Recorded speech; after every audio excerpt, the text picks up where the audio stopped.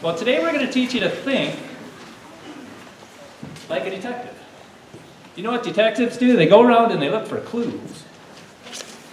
And they try and figure out what happened in the past. You know what else they do? They ask questions. They ask lots and lots of questions. So I want you guys to get good at asking questions today. Don't be afraid to ask questions. You know, today in detective school, you're going to learn two golden questions that could help you be really smart. And you're going to learn four other questions that are going to make you experts in figuring out what really happened to these things. What happened in the past, what the facts are, and what the fairy tales are. And so don't make the same mistake I made when I was your age. You know, I thought, you know, if I ask questions, people will think I'm not too smart. Well, that's wrong. It doesn't matter what people think. What matters is what God thinks. And the sooner you figure that one out, the better off your life's going to be, right, parents? It takes a while to get to that point, but it's true. Yep. And so just ask those questions. And, you know, if you don't know something, that doesn't mean you're not smart. That just means you haven't learned it yet. No big deal. And also, if you're confused, chances are other people are confused. And, uh, and they're going to be real happy that you have the confidence to ask those questions. So the key to being a good detective is ask questions. Ask questions. And there's some really good ones in here. And there's the golden question that can make you really smart. Two golden questions. You guys wonder what they are? You guys know what they are? You want to know? I'm going to find out who is a detective in here. All right? There's clues that you all have that could lead you to a golden question. The first person to raise their hand and ask a golden question gets this dinosaur. Who knows what a... Oh, there's a hand back there. What's the golden question? You don't know? Okay. Right back there? Yeah. What do you mean by that? Very good. Oh, wait a minute. That's not the golden question. Oh, yeah, it is. Yep, come on up. Come on up. Yep, come on up. You're right. You're right. You picked the second one. Come on up. He's a natural born detective. Very good. Very good. And the other golden question is, could you help me understand that better? And this is a time for you to yell. I want you to repeat that after me. Re say it with me and say it as loud as you want. This is your time to yell. Could you help me understand that better? Try it. Try it with me. Could you help me understand that better? And if you want to yell it this time, go ahead. Could you help me understand that better? Ask that the rest of your life. You're going to learn so much. And then the next one is, what do you mean by that? Again, you can yell this one out. But what do you mean by? What do you mean by that? Okay, one more time. What do you mean by that? All right. So I'm going to use the word assumption. Okay. And I'm going to use the word assumption. Who knows what assumption means? Not too many people. Okay, so I'm going to say, what do you mean by assumption? This is when you can yell. Okay, one, two, three. What do you mean by assumptions? Go ahead and yell it.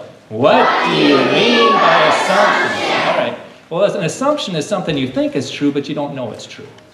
Okay, you think it to be true, but you can't prove it. All right. And so I want everybody to be understand what's going on today. So when we leave those doors, we can go out and win.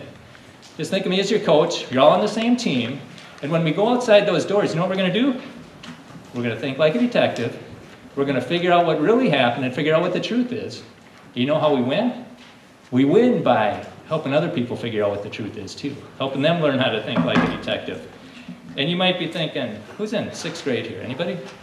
Fifth grade, sixth grade? Okay, you might be thinking, I'm just a sixth grader. Who am I going to influence? How about a fifth grader, a fourth grader, a third grader, a second grader, a first grader? Yeah. And a kindergartner? Who's in kindergarten? All right, you might be thinking, I'm just in kindergarten. Who am I going to influence? A preschooler. say, See, somebody will listen to you. But you know what, boys and girls? If you have the answers to this topic, I think grown-ups are going to listen to you. Who knows what the topic for today is? Really loud, yell it out. One more time. That's right. If you know the answers to dinosaurs, I think grown-ups are going to listen to you. That's right. Do you see the dinosaur there? Yeah. This thing blinked, it roared. It's not a real one, but it sure looks real. And notice that car in the back there, that red car. Do you see that one right there? Yeah. That car is stopped. It's not stopped at a red light. It's not stopped in a parking spot. It stopped like it was on a busy lane of traffic. This is W Street down in Pensacola. It'd be like like Second Street out there, or or uh, Ninth Avenue, or University Drive, where it's just traffic, no place to park. He stopped in traffic to look at the dinosaurs. Do you think he's going to listen to your answers? Yeah. Yeah, I think he will. I think he will indeed. And now to help us figure out about dinosaurs, I need somebody who's five years old. Anybody? Anybody? Now this might show up on YouTube, so make sure it's okay. Who's five years old? Raise a hand. Come on up here. Come on up here. Are you brave?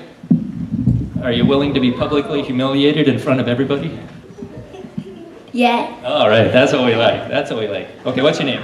Riley. Riley. Okay, Riley. How old are you? Five. Okay, Riley. How old do you think I am? I don't know. Take a guess. Twenty. 20. 20? Yeah. Who are your parents? Over there. Oh, I like the way you teach this kid. I like the way your kid thinks. Okay, uh, Riley, how do you know you're five? Because my mom told me I am. Because your mom told you is. That's one way of figuring out what happened, wha- what's true is eyewitness testimony. We can trust your mom. Yes. Okay, all right. What's, do you know another way you can tell how, how old somebody is? Yes. Oh, I know. I know how old Bradley is over there. He's he's he's eleven years old. He is good. Oh, who's in fifth or sixth grade? Who's the oldest? Okay. Do you know another way to determine how old somebody is? Come on up. Come on up. Come on up. What's your name? Zach, Zach. How old are you? uh, 12. You're 12. Okay. Besides your parents telling you, how do you know you're 12?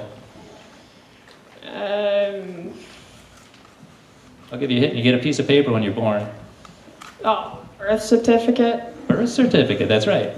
Eyewitness testimony, historical documents are really good. Do you know another way? Judges how big you are. Do you know what this is? Oh, a driving license. Yeah, driver's license. You got one of these?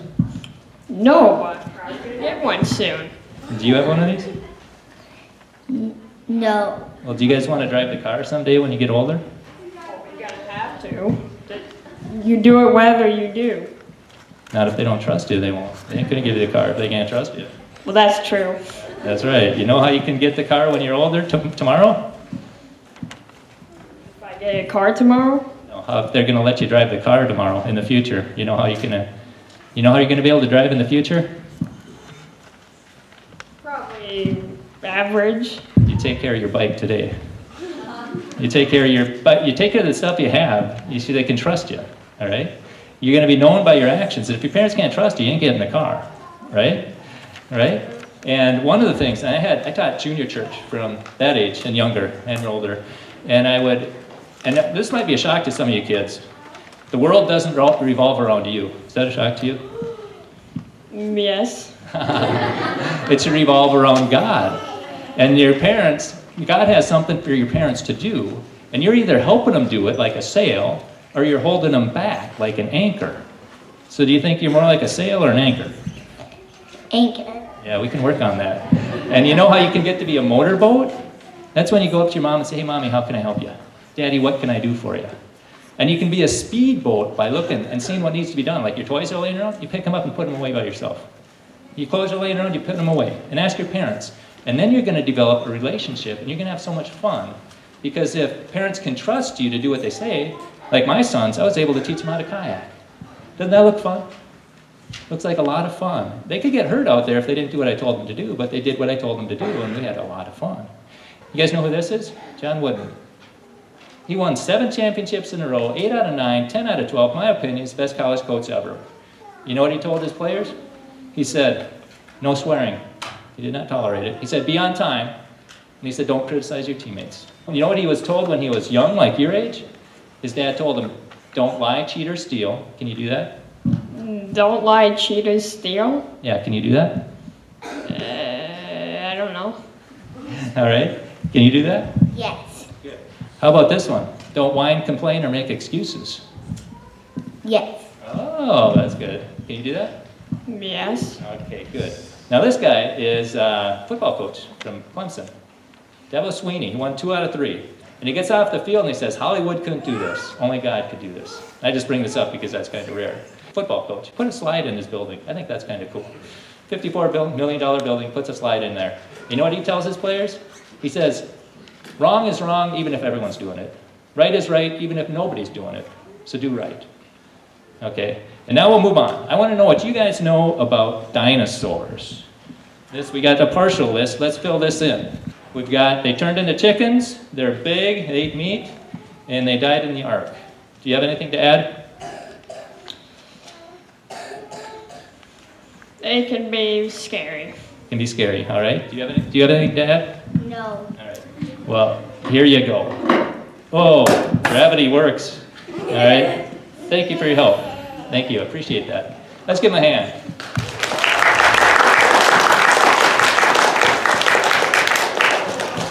All right. Now the rest of you, what do we know about dinosaurs?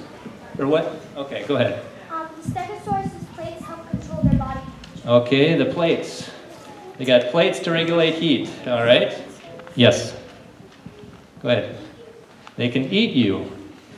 Yeah, they could eat you. All right. Anybody else? Big teeth. Yeah, they sure do.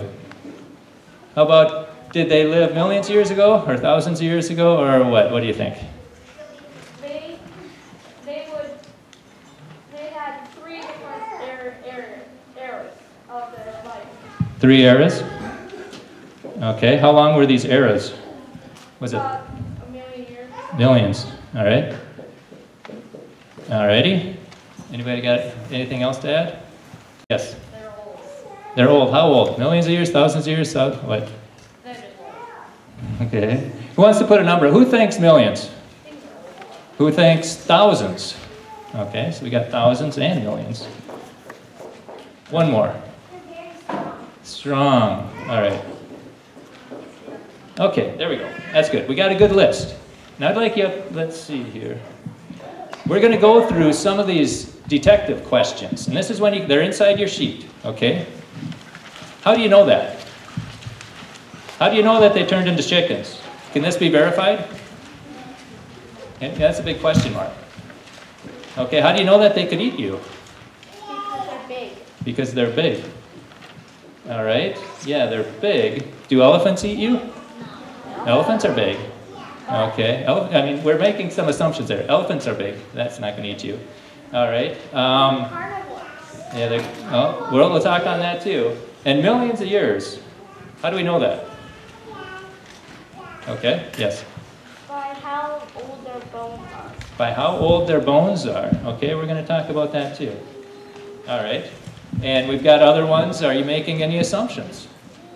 You guys want? Let's practice that one. Yell it out really loud. But let's do the other one. This one's a really good one that I want you to get good at. Let's practice that. Say it with me. Yell it with me. How do you know that? One more time. How do you know that? Again, how do you know that?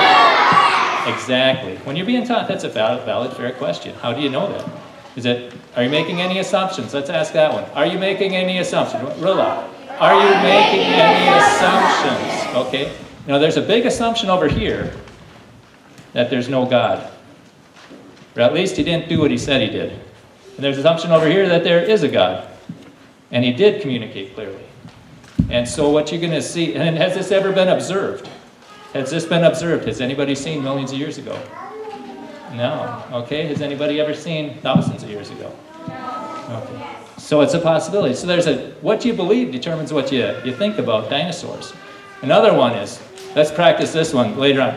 Where did that come from? Really loud. Where did that come from? Where did that one more time? Where did that come from? Yeah, good deal. Yeah, they, they found huge dinosaur footprints in every continent, even Antarctica. Even Antarctica. How do you get something that big that eats a lot of food to grow in Antarctica? What do you think? Um, that it, back then it wasn't as cold as now. Back then it wasn't as cold as now. That's interesting. Okay, we'll get to that. Does anybody know what? That's my son. Do you know what he's holding?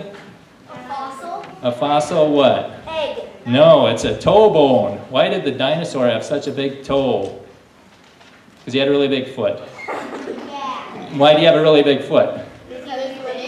Big. Leg. Why do you have a big leg? Because he was huge. If he was in this room, he'd be sticking out the top. You know, they're as big as a barn, as tall as a silo, and if they stepped on you, uh-oh.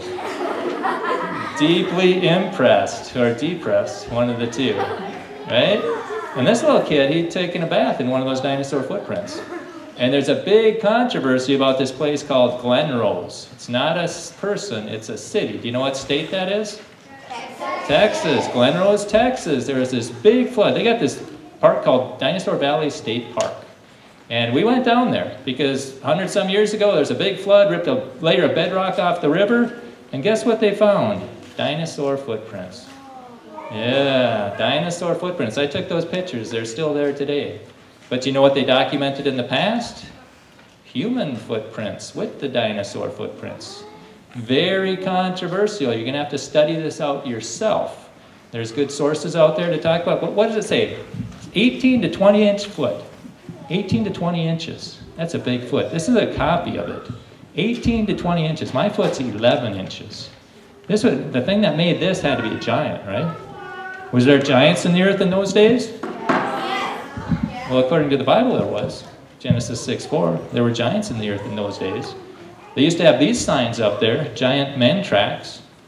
You know, they deny that they ever existed. But people don't get that big today? Well, actually, they do. You ever heard of Robert Wadlow?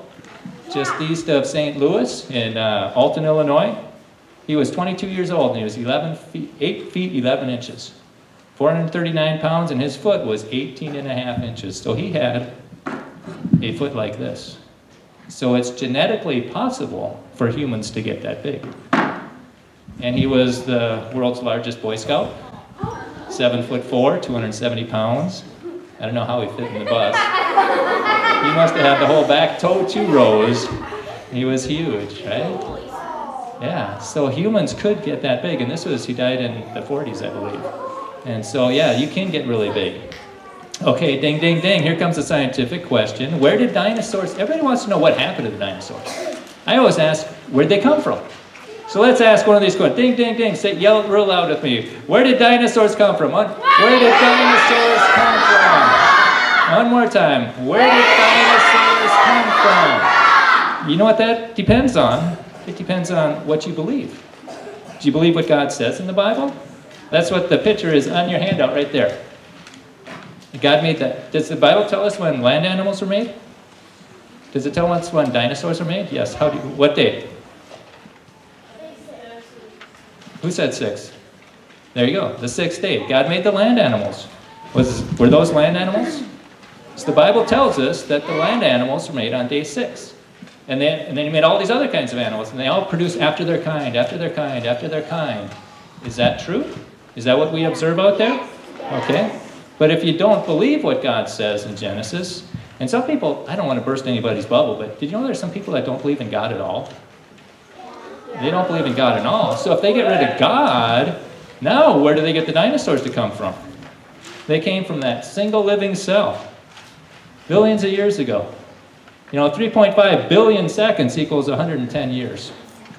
And what this says is roughly 6,000 years that's uh, 6,000 seconds is an hour and 40 minutes. Do you know there's a difference between an hour and 40 and 110 years? There's a big difference. Okay, so again, well, and the question, you know, and we can ask those scientific questions. Let's ask, how do you know that? One, two, how do you know that? Yell really loud. How do you know that? Yeah, how do you know the dinosaur came from that single living cell? Has that ever been observed? No, it's not been observed. So we got to separate what's what's the fact and what the fiction. How about God? How about this, where God made everything in six days? Has that ever been observed? Yeah. God observed it, and if you believe that He re revealed it in a book, that's the assumption. We, we believe that God revealed Himself in a book, and we can understand it. Okay, and so and the assumption here is there no God. There's no God.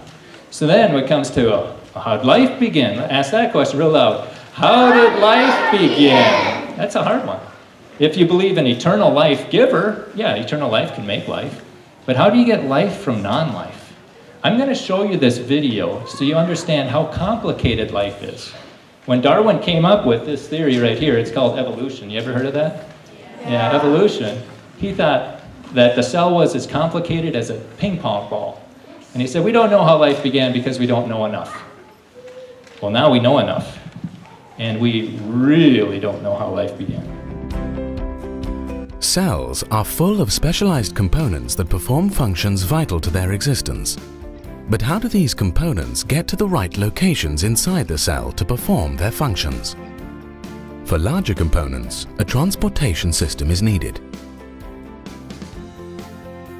Meet the Kinesin.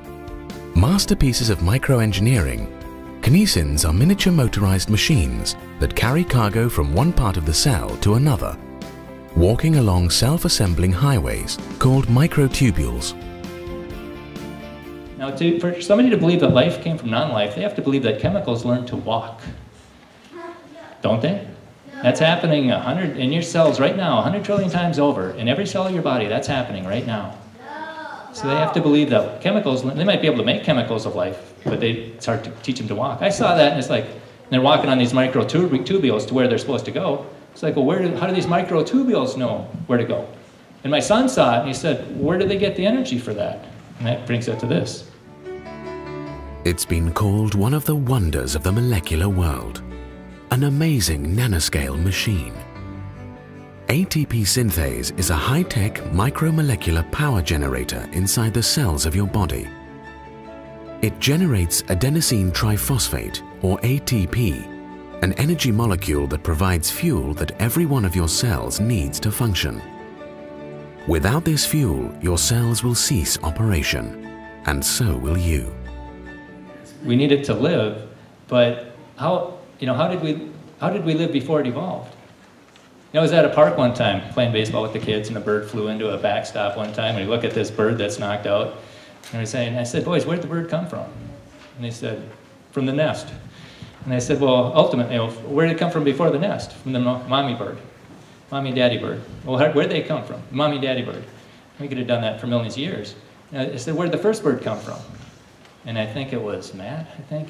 He said, uh, God made him. And I said, yeah. But you're going to go places where they're going to tell you that God didn't make them, that he, they evolved from something. So I want you to ask this question. What evolved first, the heart or, heart or blood cells?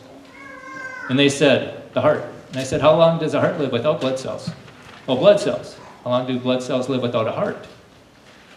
You notice how it had to be, oh, now I'll give you heart and blood cells, same time, same place, in all the billions of years, in all this big universe. How long are they going to live without lungs? Or a brain? Or a digestive system or a nervous system, and you see how it has to be fully formed, fully functional, right from the get-go, or it's dead in the water.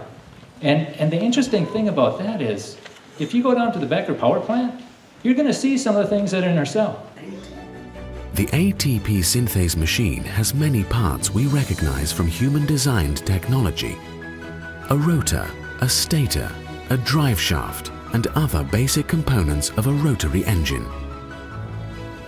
The ATP synthase is one of thousands of elegantly designed molecular machines inside your cells that make your life and all known life possible. ATP synthase, an example of intelligent design.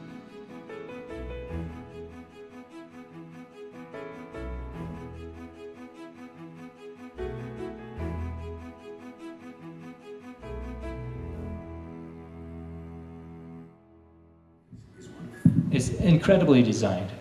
And for somebody to look at that and say it came together by chance, random processes. Anybody ever been to Mount St. or Mount Rushmore? Anybody ever been out there? How many people think that the wind and the waves and the lightning and the snow put those faces on there? No, it was designed, obviously designed. You know, there's four of them there, that's one clue. And yet we're supposed to believe, there's people that'll tell you, yeah, Mount Rushmore didn't form that way. But guess what? My wife and kids did just popped into, and my wife and kids is a lot more complicated than a rock. How about if you were walking down the beach and you saw this? Right? The Sandman. Did you think, oh, look what the waves and the wind and the, and the lightning did? What do you think? Somebody made it, right? Yeah, somebody made it. Well, in this picture, we obviously believe the Sandman had a builder, the buildings had a builder, the clothes had clothes maker. My son, did he have a creator? There's going to be people that say no. The most complicated thing in the picture came together by chance. Now, I have a hard time believing that. And, but how do they do this? When you go off, and this is a college textbook.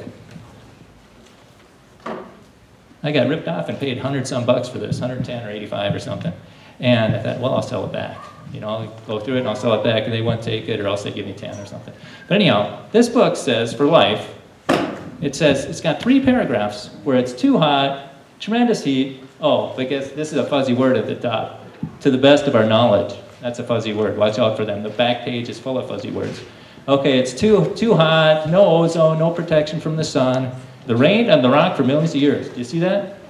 Rained on the rock for millions of years. Basically, they think we came from rocks. Rained on the rocks for millions of years, but then how do you get life from non life? One real scientific word. Can you see it? Real scientific word.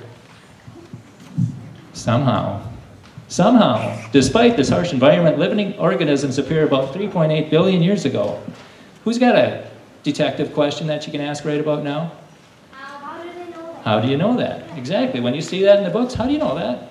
How do you know that? That's what God said to Job. Were you there? Okay, how do you know that? And they and this book is full of fuzzy words when it comes about our origins. See, our, where we came from is not a science question, it's a history question. It's what we have here are two views of history.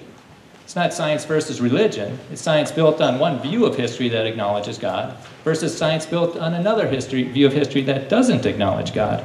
There's a battle going on. And if you want to hear man's word, what would you look at? Or if you want to learn God's word, what would you look at? Bible. The Bible. That's right. What else would you do? Pray. Pray. Good. What else? Go to church. Yeah. These are all things that are going to help you to understand what God says. If you don't want to know what God says, what can you do? What can you do if you don't want to know what God says? Or if you want to learn? something? What? Well, would you learn about God on TV? Would you learn about God in the movies? Not most of them. Would you learn about him in the museums? Depends. Depends on the museum, but the vast majority are over here. So this is going to teach you man's view. So if you want to learn God's view, you need to listen to creationists, and uh, it's excellent. The YouTube, if you don't know something today, it's because you don't want to know it. Because everything's just a click away. All right, and we talked about the fuzzy words, might have, could have been, these are all in the back. This piece of paper should be your science bookmark. Whenever you're taking a science class, this should be in there so you can ask those critical thinking questions. How can you tell a Bible, a Christian textbook from a man's textbook? What's the big clue? What do you think? Fuzzy words. And also more specifically, there's the fairy tale warning in there. Who can find the fairy tale warning? Millions of years and billions of years. Are you going to find that in the Christian book? Somebody that believes what God says? No. So just if you want to figure out what perspective the person is coming from, you just look for millions and billions of years. Their perspective is God didn't do what he said. That's one view of history that doesn't believe what God said, their view of science. And here's another view of science that does believe. And let the games begin. There's a lot more funding over here, but if you have the truth, we're doing actually better at science than they are, the creationists are. How about this? We just had a big snowstorm. Did a snowman pop up in your yard? Don't be absurd. Nobody made us. We evolved by chance from snowflakes. I mean, that's just absurd, right? Well, what's more complicated, you or a snowman? Exactly. If a snowman couldn't evolve, how in the world did you evolve? And so, uh, okay, then again, let's yell this one out really loud. Are you making assumptions? One more time. Are you making any assumptions? All right. And the big assumptions that they're making over here is that there's no God, that single living cells turn into plants, animals, and people, that life came from non life, and matter comes from nowhere. Yeah, you guys ever heard of the Big Bang? Big Bang, where nothing popped into, popped into existence? I was at a, or a friend of mine was at Wayne State University, and he gives these talks. And a professor comes up to him and says, You shouldn't even be here. You're taking your faith and your religion and you're passing it off as science and you're confusing the kids. And Brian Young says, Well, sir, can I ask you a question? He goes, Sure. He says, Where did this subatomic par- particle, you call it a singularity, come? It supposedly had all the matter in the whole universe in it, supposedly blew up 13.8 billion years ago. Sir, where did that come from? And the guy says, uh, We don't know yet. Science has no explanation. Ah, science has no explanation for where that come from? He says, no. And he says, oh, sir, well, uh, let, correct me if I'm wrong, but you believe in that particle by faith. He didn't like to hear it, but it's true. You're believing in the Big Bang by faith. It's not observable, not testable, not repeatable. You can believe it, that's an assumption, but you can't know it. And so whenever you hear about the Big Bang, I want you to listen to, think about this guy. He's going to make a sparkler. He thinks he has it all figured out. you know, like this, and it should just for a little bit. We've got this protective cloth down here. Actually, I think I'll turn the light out so it shows up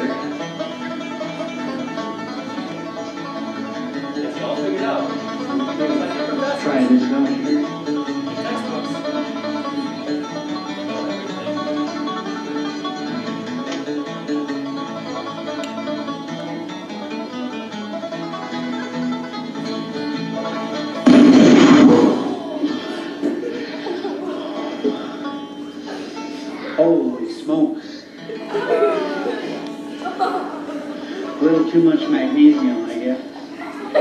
I won't do that again. Sorry about that. He learned something the hard way, didn't he? Yeah, he thought he had it all figured out, but was he right? No, no, no. And that's the fairy tale that's being promoted in our government schools. Once upon a time, nothing exploded and turned into people. Right? Right? It's a fairy tale for grown-ups, right? And I got that poster, and I went to St. Cloud State with it. How do you think it went? I've had a lot of signs there. And this was the one that somebody actually picked up and threw it. Because, and that, that's not a bad thing. It makes them think. If they can think. See, my position when I go to St. Cloud State is, hey, I'm just here to give people an opportunity to think. And you need to see both sides if you want to think. But in your classroom, you're only being taught one side. And so that's why I'm here. Give it fair so you can think about it. We, last semester, we showed a creation movie every week, every Monday almost. Creation Science 101. Explore with open minds, not limited to theories of blind chance and random collisions of atoms. And so we're trying to help people figure out what's true and what's false. We've got Grace Campus Fellowship there. If you guys know anybody who's in college, have them look up, check out our website. Stop by to our events. We're trying to get it going at the Technical College. We did get it going at uh, Brainerd, and try and get up there once a month. And this is the fruit of our labor. Notice that little guy there, going to all the campuses. I met him a year ago at St. Cloud State. He's a Hindu from Nepal, grew up in an orphanage, was on the street until he was 10, became their national champion when he was 14 in judo. He was champion for three years and then became the, the Sambo champion, so he's competing internationally, living in an orphanage, washing his clothes in a river. He's got a story nobody can tell. And I shared the gospel with him. He accepted it. And he came to church kept coming to church, and now he's, uh, he's going to Pensacola Christian College. But anyhow, if you want to make a donation, just write out to Pensacola Christian College, and uh, that's where the money's going. And this is, in, on the back of that site there, there's a page, on the back of this, you have my website, and you can hear him give his testimony at one of my talks under the audio section. And so there is a battle, and praise God, there's one, and they're getting taught God's perspective. Okay, so now, when did dinosaurs die? We got two different views here. Who thinks millions of years ago? Okay, who thinks thousands of years ago? Okay, well, what does the evidence indicate? You know, if they find soft tissue in a dinosaur bone, soft tissue can only last at the most a million years, at the most, in perfect, pristine environment. But do they find fossils in Hell Creek, Montana, in perfect conditions? No, it's hot and cold, and hot and cold, and hot and cold. How many people knew that they found dinosaur blood and dinosaur tissue and dinosaur bone? It's the find of the century, and it's getting swept under the rug. So we'll have the person who discovered it tell you what she's, she found. Is that amazing to find this kind of soft tissue in a fossil this old? And what can the soft tissue really tell us? Um, well, it is, it's, it's very amazing. It's uh, utterly shocking, actually, because it flies in the face of everything that we understand about how tissues and cells degrade. Uh, it's not something that any one of us could ever predict or hope for. Notice that.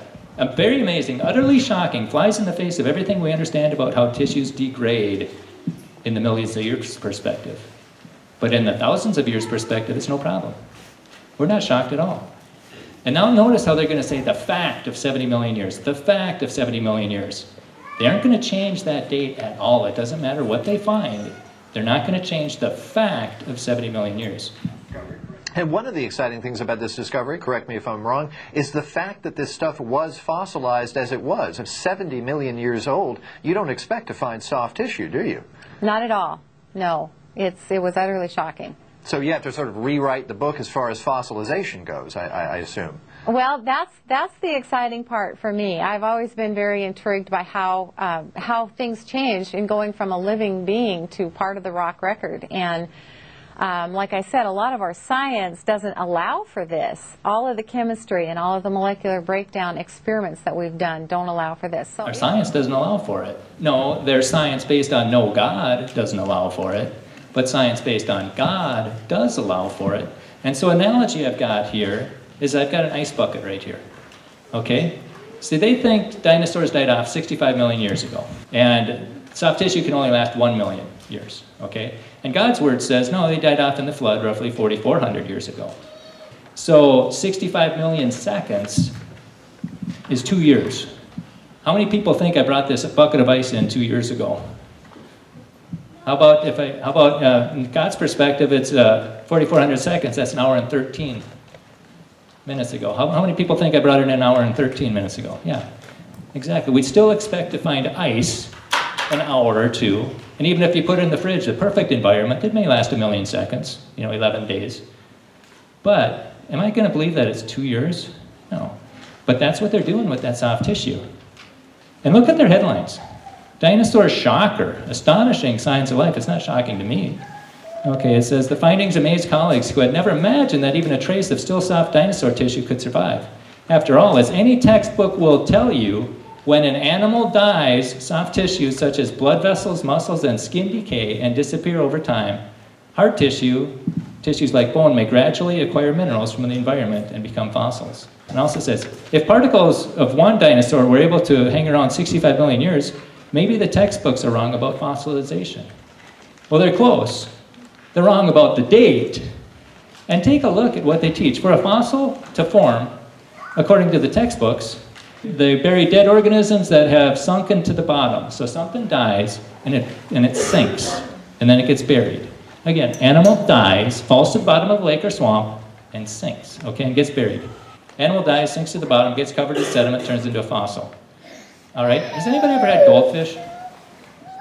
Anybody ever seen a dead fish? Is that on the top or on the bottom? Top. It's on the top. Dead things, dead things float and float, and they go to the top, and then they get eaten up. The mere existence of a fossil proves that it was buried rapidly, right? That deer on the side of the road's not turning into a fossil. Okay, it had to be buried rapidly. Therefore, that layer of rock that has fossils in it was laid down rapidly, not over millions of years. So the only way it forms is, it's, I'd say, the fossil record is a sign of a worldwide flood in the days of Noah, not millions of years. And there's a lot of problems with that fossil record, and we'll get to that. Okay, anybody know what I'm holding right there? What kind of fish? Jellyfish. Does that have any bones and hard tissues? No. According to the textbook, should that turn into a fossil? No. But guess what they have at Institute for Creation Research? They got this fossil specifically because Darwin said it couldn't happen. A fossil jellyfish. And does it take millions of years for something to turn into stone? you guys aren't going to get nightmares, right? This is my favorite fossil. You guys sure? You guys can handle it? Okay, get ready to cover your eyes. My favorite fossil, a fossil hat. Do you think those dinosaurs were wearing hats around? No, this was a, they cut, shut down a cave in Australia, a mine in Australia. They went back roughly 50 years later and it had turned, it, turned into stone. This one, I think they hang this in a cave that has a lot of mineral running through the water and hang it in the waterfall. Teddy bear. Or did uh, dinosaurs have teddy bear? Help them sleep a little bit. Okay, now if you have a pen, or just imagine off to the right, just picture a, a, stick man and a line underneath it. And then with your name next to it. So where did you come from? Right? Who can answer that? Where did you come from ultimately? Where? God. God. And then God did what? Created what? Animals. I'm looking for a name. Yes. Yeah. Adam and Eve. That's right. Where did Eve come from? Adam. That's right. I was on the radio one time, and the guy says, uh, "Well, doesn't the Bible say that uh, man came from the dust of the earth?" And I said, "Yeah, that's right." He goes, "Well, that's evolution. That's what evolution says. The man came from the dust of the earth. That Genesis, that's just an analogy." And I said, "Well, the Bible also says that the first woman came from the first man's rib. How does that fit into your analogy?" It doesn't. Okay? So Adam, we came from Adam, right? How do we know that? God said so in his book. What's our assumption? God, there is a God and he can communicate clearly in a book. That's our one assumption, or two assumptions. All right? But notice over here, where did the people who don't believe in God, where did we come from? Came from ape-like ancestors, right? So what's their assumption? Our great, great, great, great, great, great grandma looked like that. Married to our great, great, great, great, great grandpa. And did we have a family reunion with our great, great, great uncle? And our other cousin from the other side? And this one? No. That's our aunt? No, I don't think so. I don't think so. Ultimately, that's what's in our textbooks. We had ape-like ancestors, and it's the, the, the depths we go through for that. Okay, so did dinosaurs live with man? According to the Bible, God made the land animals, made Adam and Eve. Okay, question, as it, as it detectives, there's legends all over the world describing these big reptiles, but what did they call them? The word dinosaur hadn't been invented. What did they call those big ones? Real loud. Dragons, that's right. Legends all over the world talk about these dragons, another word for dinosaur. It bothered Carl Sagan so much he wrote a book trying to explain it. How could all these cultures, separated by time and distance and mileage, and, and he called it Dragons of Eden. And his idea was our memories got passed down in our dirt DNA for millions of years. And that's been debunked. Marco Polo said that he saw dragons that pulled chariots in the Emperor's Parade. How about this? What does that look like? Dinosaur. What kind of dinosaur? That was carved in a temple a thousand years ago. We didn't find the first dinosaur bones till 18, 1800s. We've only had dinosaur bones for about 200 years. The word dinosaur hasn't even been around 200 years. How in the world, Mr. Detective and Mrs. Detective and Miss Detective, can somebody who's never seen one of these carve something in a temple a thousand years ago? He must have seen it. Notice the circles. These are the Ica stones of Peru, and I've got a, a science journal where they, where they validated these things are roughly a thousand years old. And the conquistadors went through there in 1500s and said, we see rocks with strange creatures carved in them. What are those strange creatures, class? Really loud? Yeah, dinosaurs. Notice the circles. Dinosaurs. How could they carve them anatomically correct if they'd never seen them? And this, this journal validated that it's true. And also castles in Europe have dragons carved in them. How could you carve a dragon if you've never seen them? And they'll say, well, they're just carving legends. Remember the circles on the skin? You got to be pretty good at carving a legend to know what its skin looks like. So the evidence is getting pretty strong that these dinosaurs lived with man. And you also always see these long-necked dinosaurs with their necks crossed. This is in a castle, Bishop Bell's Brass Behemoths is what they call this. It was built in 1496, so that's roughly two or three hundred years before they found the fossil bones. Class, how could somebody carve something if they'd never seen it? Makes no sense. And they're always, always with their necks crossed. Why are they always with their necks crossed? Well, giraffes, somebody put words to this. The first words are, look at her, she's all neck and legs. Neck and legs, look at her. Oh, I am looking at her. Stop looking at her. You, you just told me to look at her. Ow! Ow! Ow! Ow! So giraffes do that. Maybe the long-necked dinosaurs did in the past. Okay, so now, um, which which one does the yes? Um, and also there was a footprint next to a dinosaur. That's right. That's right. Absolutely. Carl Baugh, I've talked to him. He's one that discovered it. Discovered one of them, and he couldn't sleep for three or four days because he believed in that theistic evolution. God made something that evolved, and he believed that. But then he saw the footprint of a human next to a dinosaur. His whole worldview came crashing down. It's like, oh my gosh, God did mean what he said. And so he's actually, Carl Baugh is going to be speaking in Chicago this summer at the Grace Conference. I encourage you, anybody who wants to go, to go. Okay, class, which side makes the most sense? That hydrogen and helium turns into dinosaur, or that God created the dinosaur? God created the dinosaur. Yeah, exactly. I agree. I agree. Are you guys all homeschooled? Most of you, has anyone been, been to a government school? No. I'm a product of the government school, and I've had classes like this.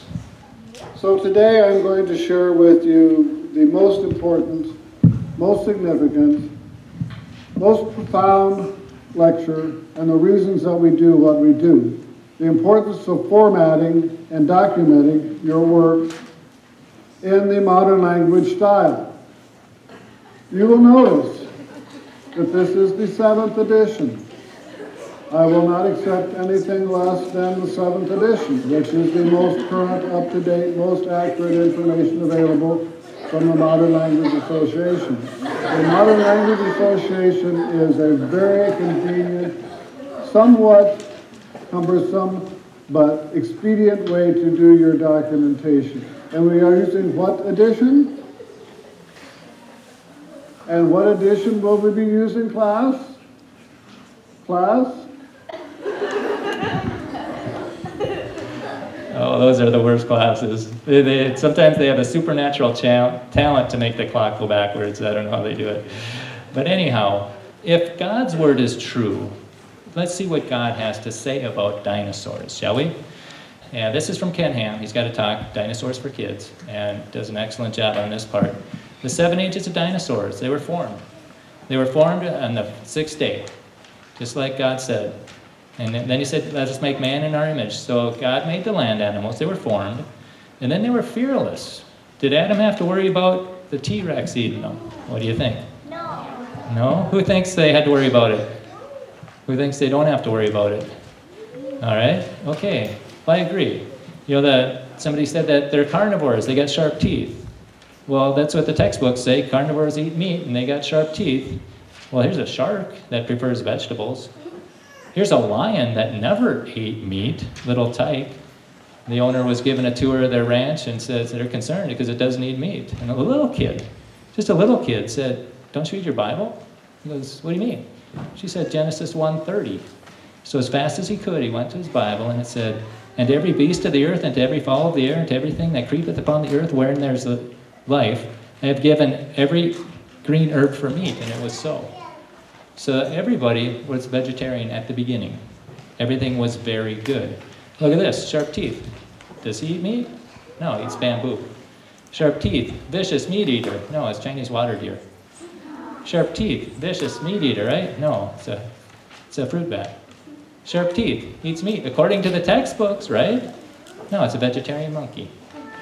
All right, so just because it's in the textbook doesn't mean it's accurate. And by the way, God said everything was very good. Very good. Do we live in a very good world? Do we? I mean, people die. Is that very good? No, no, it's not. So our obvious question is well, what happened? Well, boys and girls, this is the worst day there's ever been. This is the fall. God commanded the man, saying, Of every tree of the garden thou may freely eat, but of the tree of the knowledge of good and evil thou shalt not eat of it, for in the day that thou eatest of it thou shalt surely die. So God said, Don't eat the meat, don't eat from that tree. That's his when you eat from it, you're gonna die. But the serpent was more subtle than all the beasts of the field. He went to the woman and said, Yea, hath God said, Doubt God's word. Yea, hath God said. Change the meaning of words. Yea, hath God said. That's what I did when I read the Bible. I didn't believe Adam lived to be 900 years. I believed he lived 900 months. That's 72 years. But no, they did. Now do another talk. What, what was it like before the flood? Yea, hath God said, Ye shall surely die. Ye shall be as gods. And so what did Eve do? She saw that the tree was good and pleasant to the eyes and desired to make one wise. And she took the fruit thereof and did eat and gave some to her husband. This is the first marriage. God defines marriage. Husband, one man, one woman. And with her, and he did eat. And that's when death entered into the world. Man brought death into the world. The other thing is evolution just came. Death has always been here. And so they knew that they had sinned. They saw they were naked. And so they sewed together fig leaves and made themselves aprons. See, our works aren't going to take away sin. God came and he made coats of skin and clothed them. There was, that was the first death. Okay, because of man's sin, animals died. And there was a shed blood. God has to take care of the sin. We can't, our works aren't good enough. And then it got bad. Cain killed Adam, Abel, and it got, went downhill from there. And it got that, to the point where e- the imagines of the thoughts of his heart was only evil continually. The whole world was wicked. I think it's bad now. Just think of what it's back then. And so God sent what? The flood. I will destroy man whom I have created upon the face, both man and beast and creeping thing and the fowls of the air. He said a worldwide catastrophic flood that buried billions of dead things in layers of rock that were laid down by water. That's evidence of the fossil record. All right? And some people say, well, that's just a local flood. When they try and squeeze evolution into the Bible, they have to have a local flood. And, but listen to this, or else they'll say it's poetic. You know, it's not historical. It's just a figurative language. Listen to the language here. In the 600th year of Noah's life, in the second month, in the 17th day of the month. Does that sound poetic? That day is described more thoroughly than almost any other day in the Bible. That's history. It's history. God's telling us a historical event. And Jesus referred to it as a historical event, accurate historical event. So when we're not referring to Genesis as an accurate historical event, we're not following the example of Jesus. And unfortunately, most of our seminaries and so-called Christian colleges do not believe it as an accurate historical event. They teach some form of evolution. Okay, so were there dinosaurs on the ark? What do you think? Who thinks there were dinosaurs on the ark? Who doesn't think there were dinosaurs on the ark? I mean, how do you get something that big in that boat? Well, how big was the boat? Was the boat bigger than that building? That's me right there, stepping it off. 300 foot building. Was the ark bigger than that? Yeah. Yeah, it's 450 at least. Anybody ever been to the Ark? And you've been to the Ark? Yeah, it's huge. I heard it's beautiful. So how do you get something as big as an airplane through that little door? How do you do that? Anybody have an answer? What? No, that's not it. Close. No? That's right. You take the babies. Take the young ones.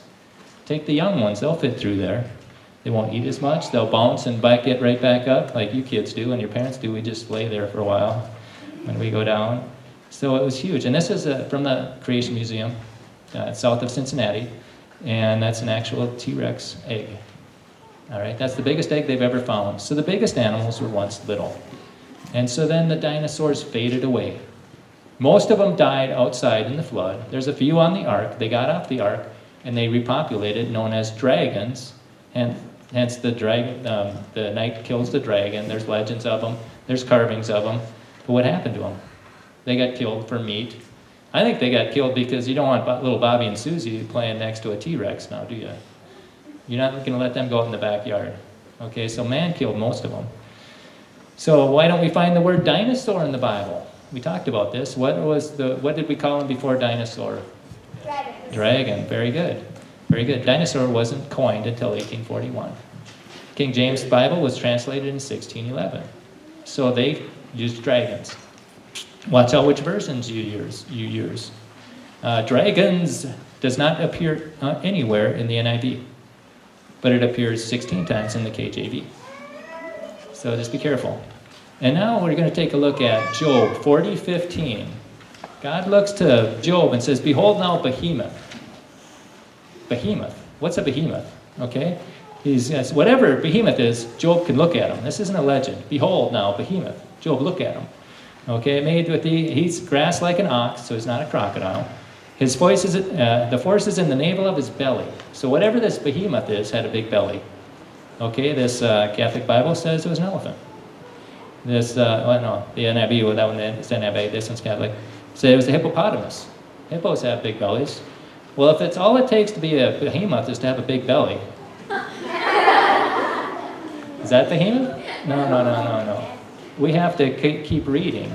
He moves his tail like a cedar. That's a big tree, a big, big tree, like a pine tree. Is that a cedar tree? No, that's not a cedar tree. Is that a cedar tree? No, it's not a cedar tree. Well, how about this? Would that be a cedar tree? Could God be showing Job, hey Job, take a look at Behemoth, this big animal that couldn't even fit in this room? I made him. I made him. All right. and so they faded away, and then they were found in the 1800s. So we haven't even had dinosaur, we've had dinosaur fossils for roughly 200 years, just over 200 years now. Okay, and then the word dinosaur was invented in 1841. who saw this? This was in, uh, oh, when was this? 2013, I think it was. This was on the internet. Washed up on the beach in Spain. Okay, and I told my wife, they're going to say it's a shark, they're going to say it's a shark, they're going to say it's a shark. And a few hours later, it's definitely a shark. Because that's what they do. There was, and we might even get to that. Oh, I took it out. But they pulled up a plesiosaurus. It's like a marine dinosaur with the long neck and stuff, and they said it was a basking shark. And now there's fiction, right? Fiction. We're not the only fishers of men class. Fiction. Millions of years. What does millions of years just do? It says God didn't mean what he said. And they get them off on that class when you're really young.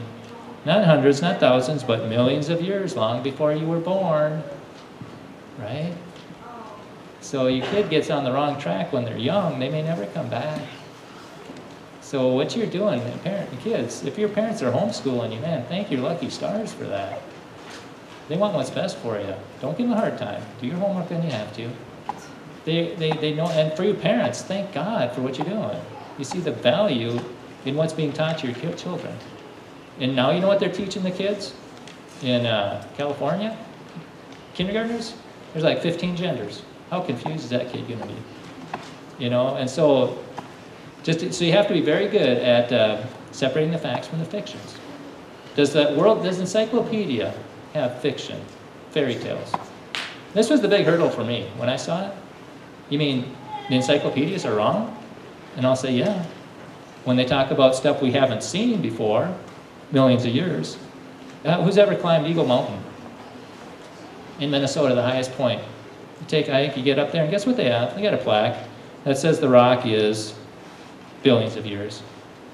So you're going to see this millions and billions of years at every taxpayer-funded event. Okay? And the people that don't do it is Pensacola Christian College. That's where Himprow was going. And if anybody wants to make a donation, just write a check out to Pensacola Christian College, put it in the back, or call them up and say, I want to donate to him. As you guys look for colleges, go ahead and check, check that one out. Room, board, and tuition is 10 grand.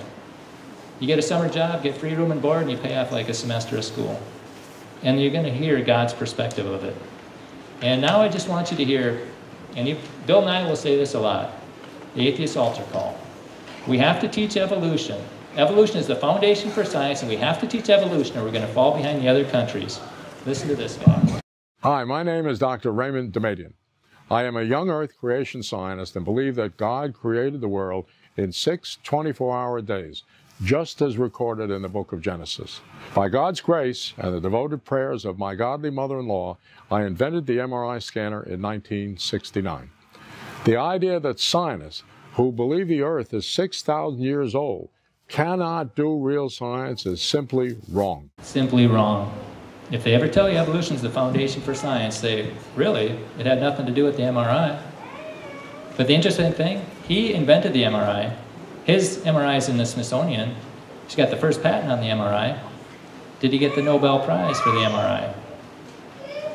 No. No. No, so there's a bias against creationists and Christians. And so there's the seven ages of dinosaurs. They were formed, they didn't eat meat. And then we sinned, and then death entered into the world, and that's when they started eating meat. And then there's the flood, then it was faded, and they were found, and now there's fiction. Okay, now we're wrapping up, kids. This is your time to shine. I want you to yell out these questions. All right, the golden questions first, all right? Could you help me understand that better? Really loud. Could you help me understand that better? Very good. Ask that your whole life. And also, what do you mean by assumptions? Here we go. What do you mean by? All right, and they're going to tell you that dinosaurs evolved from a single living cell, and you ask, where did that come from? Really loud. That's right. And how do you know that? How do you know that? They can believe it. They don't know it. And has it ever been observed? Has it ever been observed? Have we ever seen dinosaurs coming from that? No. No, we haven't. And finally, the last one. Are you making any assumptions? Here we go. Go ahead. Are you making any assumptions? That's it. And so if the Bible's true about what he says about dinosaurs, and he is, the question is, where are you going to go if you were to die? You know, as this, this, this, this dinosaur is getting buried in mud, roughly 4,400 years ago, there was eight people in an ark that escaped God's judgment. They escaped God's judgment because they were in the ark. If you want to escape the future judgment, you need to be in Christ. And you need to you need to receive this free gift of eternal life that's been bought and paid for by the shed blood of Jesus Christ. It's a free gift. You don't work for it, you don't earn it. It's a gift. For by grace you are saved through faith, and that not of yourselves. It's a gift of God, not of works, lest any man should boast. And how do you receive this? You receive it by believing the gospel. For it is the power of God unto the salvation to everyone that believes. And the gospel is the good news that Christ died for our sins according to the scriptures, and then he was buried, and that he rose again the third day according to the scriptures. And with that, let's close in a quick prayer.